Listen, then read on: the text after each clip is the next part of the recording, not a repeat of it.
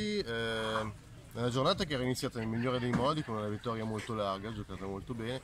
La seconda partita eh, è andata male per voi, una partita che è stata molto combattuta e molto incerta. Insomma, alla fine della giornata insomma, siete più contenti per l'1-1 o più arrabbiate perché vi è scappata di mano la seconda?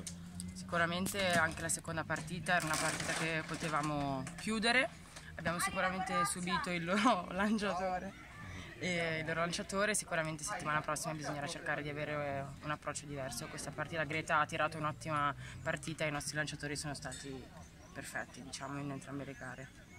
E nella seconda partita pensi che nel tie break potevate mm, fare qualcosa di più?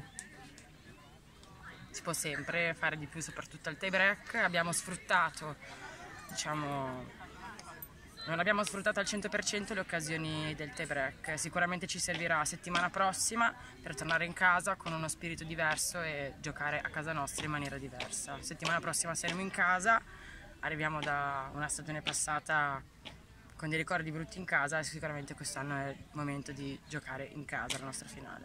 Ok, grazie. Ciao, grazie.